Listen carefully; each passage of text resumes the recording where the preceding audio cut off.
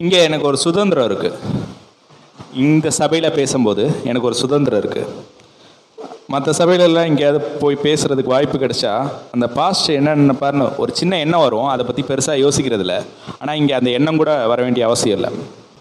முதல் எக்ஸ்ப்ளனேஷனே அவர் இப்போ இதுக்கு முன்னாடி சொன்னார் இல்லையா அதுக்கு எதிராக தான் பேச போகிறோம் இப்போ அவர் சொல்லிட்டு போனதுக்கு எதிராக தான் பேச போகிறோம் இந்த தைரியம் வந்துட்டு வேறு எந்த சபையிலையும் எனக்கு வராது. சரியா? ஸோ அது என்னதுன்னா ஒரு சின்ன சபை அப்படின்னார் இல்லையா? சின்ன சபை பெரிய சபைன்னு எதுவுமே கிடையாது. ஐயா சின்ன சபை பெரிய சபைன்னு எதுவுமே கிடையாது. கர்த்தர் சபைக்கு எக்ஸ்ப்ளனேஷன் கொடுக்கும்போது எப்படி கொடுத்தாரு தெரியுமா? இயேசு கிறிஸ்து ஒரு சபைக்கு எக்ஸாம்பிள் கொடுக்கும்போது எப்படி கொடுத்தா தெரியுமா?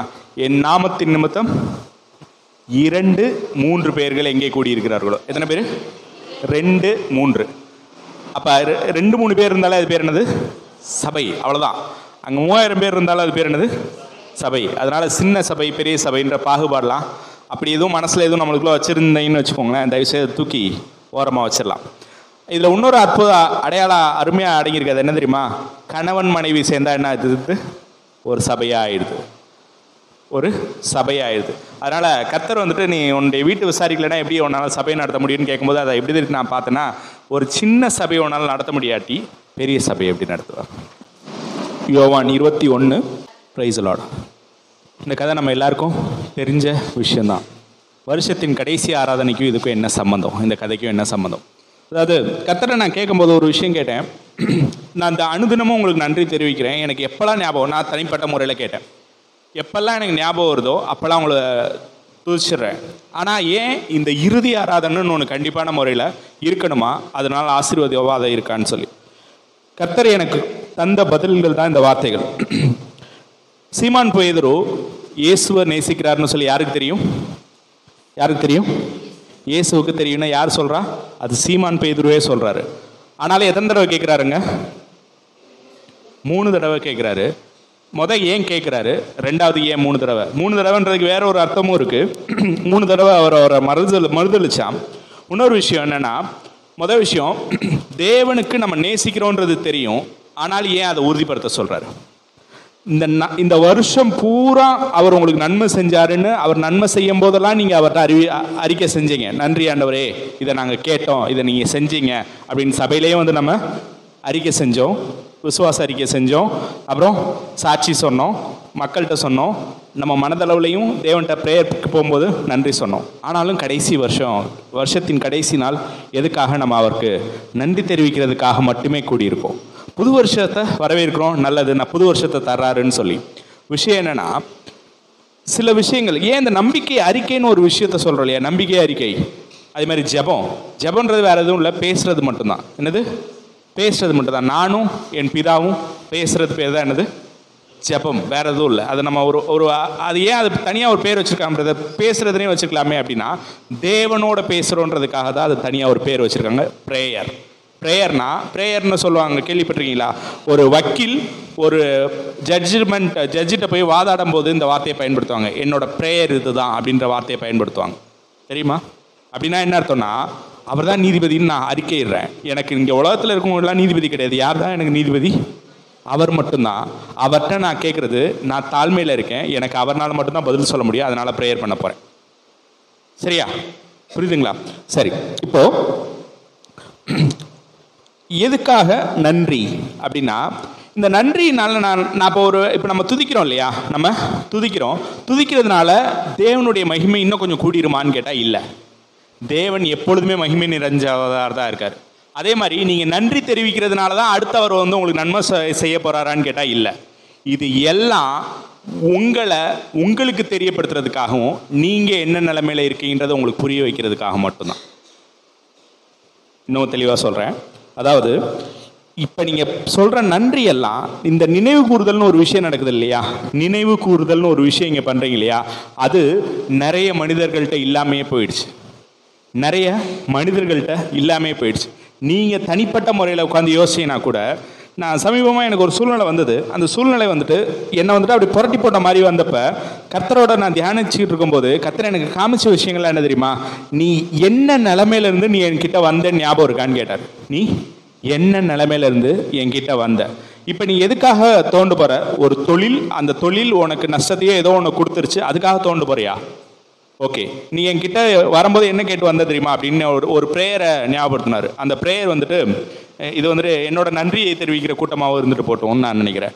அந்த ப்ரேயர் என்ன எப்படிப்பட்ட ஒரு ப்ரேயர்னா ஒரு ஒரு பெரிய பிரச்சனை நான் வெளியில் தலை காட்ட முடியாதுன்ற மாதிரி ஒரு சூழ்நிலை. அந்த சூழ்நிலையில் வந்துட்டு ஒரு சபைக்கு போகிறேன் அந்த சபை என்னை பா பாதுகாக்கிறதுக்கு தயாராக இருக்குது தயாராக இருக்கிறதுக்கு முன்னாடி ஒரு விசுவாசி அந்த சபையிலேருந்து ஒரு விசுவாசியோட வீட்டில் என்னை வச்சுருக்காங்க.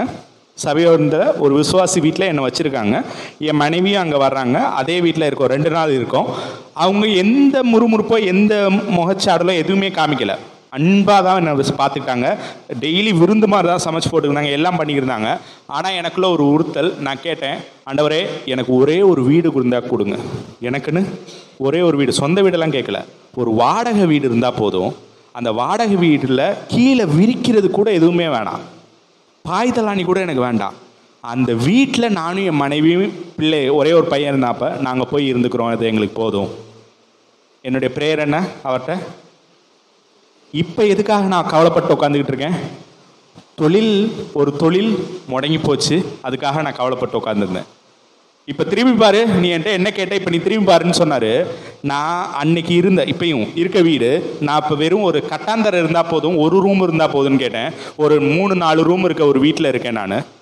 அது என்னோட சொந்த வீடு இல்லாட்டினாலும் வாடகை வீடு கிடையாது ஒரு ஒத்திவிக்கு நான் இருக்கேன். வெளியில் எட்டி பார்க்குறேன் ஒரு கார் நிற்கிது பத்து லட்ச ரூபா கார் ஒன்று நிற்கிது என் பிள்ளைகள்லாம் அவ்வளோ அற்புதமாக இருக்காங்க. அவங்களோட அந்த அந்த ப்ரேயர் பண்ணும்போது என் பிள்ளையோட எதிர்காலம் என்ன ஆகுன்ற ஒரு நிலைமையில இருந்தேன் நான்.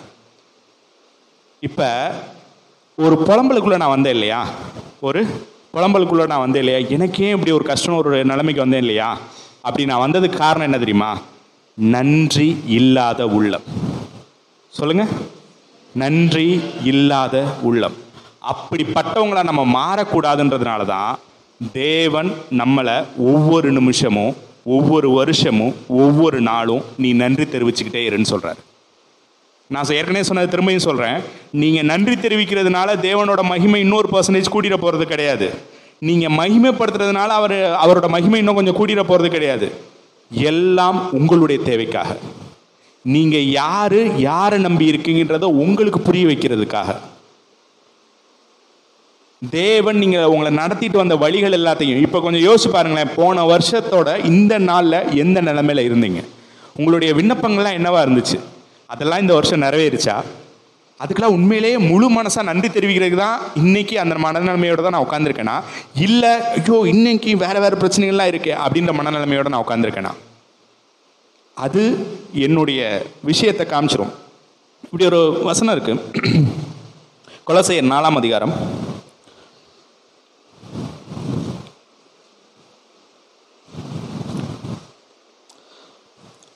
ரெண்டாவது வசனம் நான் வாசிக்கிறேன். இடைவிடாமல் ஜெபம் பண்ணுங்கள். ஸ்தோத்திரத்துடன் ஜபத்திலே விழித்திருங்கள். இடைவிடாமல் ஜெபம் பண்ணுங்கள்.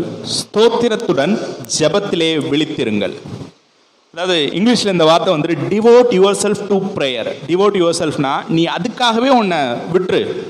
அதுக்காகவே உன்னை நேர்ந்து விட்டுருன்னு சொல்லுவாங்க இல்லையா? அந்த ஹிந்துல இருந்தால் மேக்ஸிமம் வந்திருப்போம். நேர்ந்து விடுறதுனா என்ன தெரியும் இல்லையா? ஒரு காலையே கோயிலுக்காக நேர்ந்து விடுறேன்னுவாங்க. அப்படின்னா என்ன அர்த்தம்? அந்த காலை கோயிலை தவிர வேற எங்கேயுமே போகாது. அது கோயிலுக்காக தான் அங்கே என்னனாலும் பண்ணிக்கலாம். அந்த மாதிரி இங்கே சொல்லுது devote yourself to prayer ஜெபத்துக்காகவே உன்னை விட்டு கொடுத்துருன்றாரு. இருபத்தி நாலு மணி நேரமும் ஏழு நாளும் வருஷத்தில் மொத்த நாட்களும் என்னவா பண்ணு? ஜெபம் பண்ணிக்கிட்டே இரு. ஜெபம் நான் கொஞ்ச நேரத்துக்கு முன்னாடி சொன்னேன் ஜெபம்னா என்ன? ஆண்டவர்கிட்ட பேசுறது. நீ இந்த இருபத்தி நாலு மணி நேரமும் ஏழு நாளும் வருஷத்தில் எல்லா நாளும் தேவன்கிட்ட பேசிக்கிட்டே இருன்னு சொல்கிறாங்க அப்படி யாராவது இருக்குமா? அது ஏன் இருக்க முடியல தெரியுமா? கீழே இருக்க வசன அந்த வார்த்தைகள் தான் அதுக்கு பதில். ஸ்தோத்திரத்துடனே ஜபத்திலே விழித்திருங்கள். ஜபத்தில் நீ எப்பயுமே இருக்கணும்னா அதுக்கு என்ன வேணும்? என்ன வேணும்? ஸ்தோத்திரம் வேணும். ஸ்தோத்திரன்றது நம்ம சும்மா வாயில சொல்லிக்கிட்டே இருக்கோம் இல்லையா? ரிப்பீட்டா அது இல்லை. நல்லது அப்படி. ஸ்தோத்திரம் சொல்லிட்டே இருக்கிறது நல்லது. ஆனால் உண்மையான ஸ்தோத்திரம் என்ன? என் இருதயம் நன்றியினால் நிறைஞ்சிருக்கணும். ஏன் என்னால் ஜெபம் தொடர்ந்து செய்ய முடியல என் இருதயத்தில் இந்த நன்றிக்கு பதிலா கவலையில நான் தூக்கி வச்சுக்கிட்டேன். நன்றியை விட்டுட்டு கவலையில் நான் தூக்கி வச்சுக்கிட்டதுனால எனக்குள்ள என்ன இல்லை? நன்றி இல்லை கவலை இருக்கிறதுனால என்னால் ஜெபத்தில் இருக்க முடியல. என்னால் நன்றி தெரிவிக்க முடியல. நம்ம நான் கிறிஸ்துவுக்குள்ள வரும்போது எப்படி வரேன்? எனக்கு ஒரு நல்ல வாழ்க்கை கிடைச்சா போதும். நான் இந்த பாவத்திலேருந்து விடுதலை ஆனா போதும் அப்படின்னு. உள்ள வந்ததுக்கு அப்புறமேட்டு நமக்குள்ள என்னென்ன ஆசையெல்லாம் வருது? நல்ல ஆசைகளாவே இருந்தாலும் நான் ஒரு பாஸ்டா எப்போ ஆகுறது? நான் எத்தனை பேரை நடத்துறது? கேள்வியில் புரியுதா? அழைக்கப்படாமல் ஒருவன் பாஸ்டா ஆக முடியாது. அது வேற விஷயம். ஆனால் அந்த எண்ணம் தான் நம்மகிட்ட மேலோங்கி இருக்கான்றது வே- யோசிக்க வேண்டியது முக்கியமாக இருக்குது நம்ம கத்தட்ட வந்த விஷயத்தை மறந்துட்டு இது சாத்தான் செய்கிற பெரிய சூழ்ச்சி. நீங்கள் நன்றி உள்ளவர்களாக நீங்கள் இருக்கக்கூடாதுன்றதுக்காக இந்த கவலைகள் எல்லாத்தையும் உங்கள்கிட்ட திணிச்சுக்கிட்டே இருக்கான். இந்த கவலைகள் எல்லாத்தையும் உங்கள்கிட்ட திணிச்சுக்கிட்டே இருக்கான். எப்ரேயர் பன்னெண்டு ஒன்றாவது வசனம். வாசிக்கிறீங்களா ஆகையால் மேகம் போன்ற இத்தனை திறனான சாட்சிகள் நம்மை சூழ்ந்து கொண்டிருக்க பாரமான யாவற்றையும் நம்மை சுற்றி நெருக்கி நிற்கிற பாவத்தையும் தள்ளிவிட்டு விசுவாசத்தை துவக்குகிறவரும் முடிக்கிறவருமாய் இருக்கிற இயேசுவை நோக்கி நமக்கு நியமித்திருக்கிற ஓட்டத்தில் பொறுமையோடைய ஓடக்கடவும். கவனிங்க இயேசுவை நோக்கி ஓடுங்கன்றதுல மட்டும்தான் இந்த இந்த இதில் நம்ம கான்சென்ட்ரேட் பண்ணுறோம் ஆனால் அப்படி ஓட விடாம நம்மளை சூழ்ந்திருக்கிற விஷயத்தை பார்த்தீங்களா பாவம் கூட ரெண்டாவதாக தான் வருது. முத வர்றது என்ன? பாரமான யாவற்றையும். பாவம் கூட ரெண்டாவதாக தான் வேதம் சொல்லுது. பாவம் என்னை இயேசு பின்னாடி ஓட விடாமல் தடுக்கிறதுல உள்ள முக்கியமான விஷயம் இதுதான். பாவம் தான் தேவன்கிட்ட போகாமல் என்னை தடுக்கிறது எனக்குள்ள இருக்க பாவம் தான் ஆனால் அதுக்கும் முன்னாடி என்ன ஒன்று சொல்கிறாங்க என்னது பாரமான யாவற்றையும். எதெல்லாம் உங்களை பாரமாக்குதுன்னு கொஞ்சம் யோசிச்சு பார்த்தீங்கன்னா அந்த பாரம் தான் உங்களால் உங்களுக்கு கிடைச்ச நன்மைகளை பாராட்ட முடியாமல் விடுது. நான் சொன்னேன் இன்னைக்கு ஒருவேளை நான் எனக்கு வந்துட்டு நாளைக்கு காலையில் நான் என்ன செய்ய போகிறேன் நாளை கழிச்சு என்ன செய்ய போகிறேன்ற எண்ணங்கள் தான் உங்கள்கிட்ட இருக்குன்னா எனக்கு ஏன் இந்த சூழ்நிலை வந்துச்சுன்ற எண்ணம் வந்துச்சுன்னா அந்த எண்ணங்கள் தான் தேவனை நீங்கள் போன வருஷம் எந்த மனநிலைமையில் தேவன்கிட்ட என்னென்னலாம் கேட்டீங்களோ அதெல்லாம் அவர் ஆசீர்வதிச்சு கொடுத்ததை உங்களால் ஏற்றுக்க அதை மறக்கடிச்ச விஷயங்கள் இது உங்கள்கிட்ட இருக்க இந்த பாரம் தான் அந்த பாரம் தான் தேவனை பார்த்து உங்களை ஓட வைக்க மாட்டி மாட்டிக்குது. நான் சொன்னேன் இல்லையா என் வாழ்க்கையில் இந்த ஒரு எடுத்துக்காட்ட சொன்னேன் இல்லையா ஒருவேளை இந்த பாரம் தான் ஆண்டவரே எனக்கு ஏன் இவ்வளோ பெரிய நஷ்டம்? நான் என்ன ப என்ன பண்ணேன் அப்படின்ற இந்த பாரம் தான் தேவன் எனக்கு செஞ்ச எல்லா நன்மையும் மறக்கடிச்சிச்சு. ஒரு தேவனுக்கு நான் நன்றி உள்ளவனா இருக்கேன். ஏன்னா இந்த விஷயத்தை எனக்கு வெளிக்காட்டலைன்னா இன்னமும் அந்த பாரத்துக்குள்ளேயே தான் அடங்கியிருப்பேன். தேவன் வச்ச பாதையில் நான் ஓடி இருக்க முடியாது. தேவன் வச்ச பாதையில் நான் ஓடி இருக்க முடியாது. இந்த பாரம் என்னை பிடிச்சி இழுத்துக்கிட்டே இருக்கு. இது வேற யாரும் இல்லை சாத்தான் பண்ணுறது தான் சாத்தானோட பேர் என்ன தெரியுமா? பொய்யனும் பொய்க்கு பிதாவுமா இருக்கிறான். பொய்னா என்னன்னு தெரியும் இல்லையா? அப்போ இது ஒரு பொய். அப்போ இது ஒரு பொய். உங்களை சுற்றி இருக்க சூழ்நிலையிலோட பாரங்கள்லாம் உங்களை அழுத்துது இல்லையா? அதெல்லாம் என்னது? ஒரு பொய் தான் அந்த பொய் தேவன் நான் ஒரு நன்றி இல்லாதவனா என்ன? மாற்றிக்கிட்டே இருக்கு.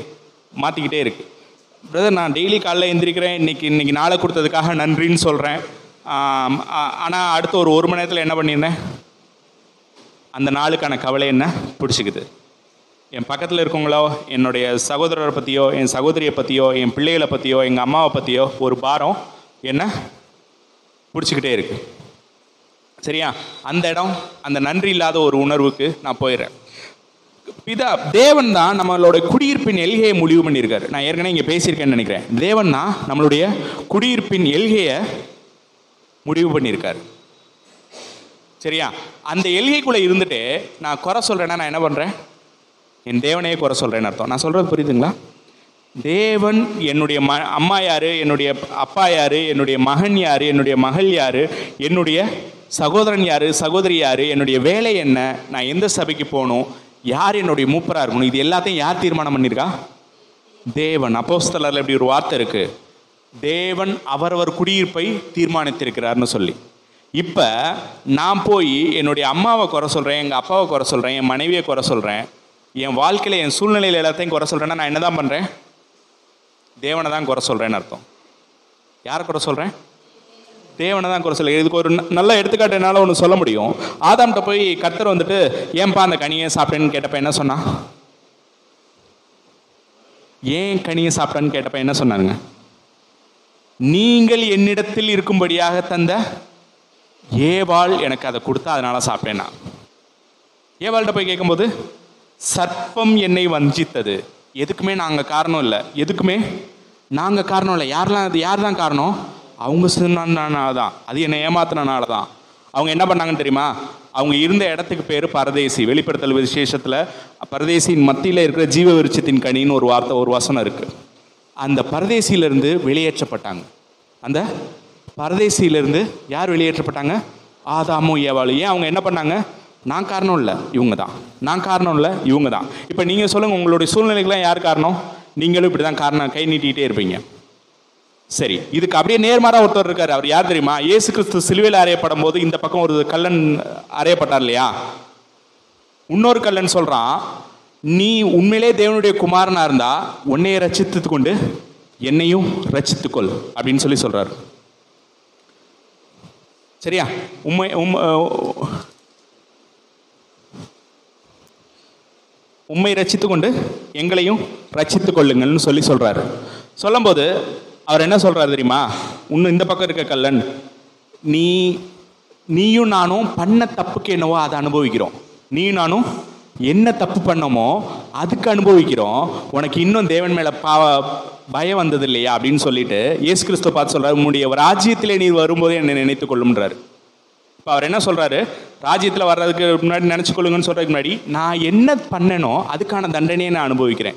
நான் பண்ணேன். எங்கள் அப்பா அம்மா வளர்த்ததில் தப்பு இல்லை என்ன என் ஃப்ரெண்ட் நான் சேர்ந்த ஃப்ரெண்ட்ஸ் தான் என்னை திருட சொன்னாங்கன்னு சொல்லலை அவர். சரியா? என்கிட்ட காசு இல்லாதனால தான் நான் திருடினேன் கொலை பண்ணேன்னு சொல்லி சொல்லலை. எதனால பண்ணேன்? நான் என்ன தப்பு பண்ணனோ அதுக்கு அனுபவிக்கிறேன்னு சொல்லி சொல்லும்போது அதுக்கு இயேசு கிறிஸ்து என்ன சொன்னா தெரியுமா? இன்று என்னுடனே பரதேசியில் இருப்பாய்.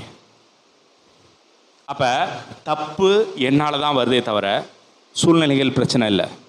நான் ஜெயிக்கிறதுக்காக அந்த சூழ்நிலையில் எனக்கு கொடுக்கப்பட்டிருக்கே தவிர நான் தேவனை பார்க்காம மற்ற எல்லாரையும் பார்த்துக்கிட்டு இருக்கேன். தேவனை பார்க்காம மற்ற எல்லாரையும் பார்த்துக்கிட்டு இருக்கேன். நன்றி அறிவு உணர்வு இல்லாதவனாக மாறிக்கிட்டு இருக்கேன். நன்றி உணர்வு இல்லாதவனாக மாறிக்கிட்டு இருக்கேன். நம்ம அந்த இடத்துக்கு போகாமல் எந்த இடத்துல இருக்கணும்? நன்றி உள்ளவர்களாக இருக்கணும். அந்த யோகா நிலையில் கடைசி அதிகாரம் வருவோம். முடிக்க போகிறேன்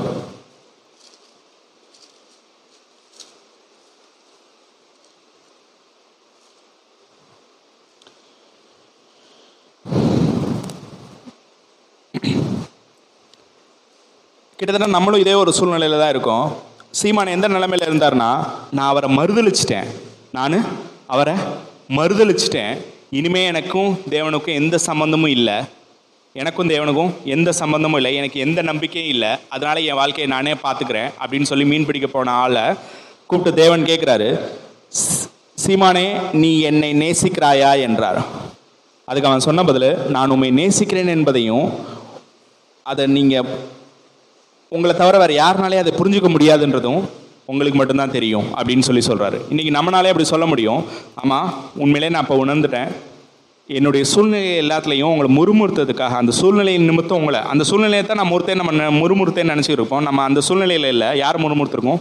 தேவனை முறுமுறுத்துருக்கோம். ஏன்னா அவர் தான் என்னை அந்த எல்கையில் வச்சுருக்காரு. அது எல்லாமே தப்பு தான் நான் உங்களை மறுதளிச்சு கிட்டத்தட்ட மறுதளிச்சது எல்லாமே உண்மைதான். ஆனால் நான் உங்களை முழுசாக நேசிக்கிறேன். உங்களை மட்டுமே நம்பியிருக்கிறேன்றத உங்களுக்கு தெரியும் அப்படின்னு சொல்லும்போது இயேசு கிறிஸ்து சொல்கிறாரு நான் உண்மை அறிவேன். என் நாடுகளை மெய்ப்பாயாக. அப்படின்றதுக்கு என்ன அர்த்தம்னா நான் உன்னை இன்னும் ஆசீர்வதித்து வழிநடத்தவே விரும்புகிறேன். அப்படின்றது தான் உங்களுக்கான வாழ்க்கை தேவனுடைய கையில் இருக்குது எந்த சூழ்நிலையிலையும் அவருடைய அன்பு மேற்கொள்ள முடியாதுன்றதை மட்டும் நம்ம புரிஞ்சுக்கிட்டு அவர் நன்றி உணர்வுள்ளவர்களாய் இருப்போம். Amén.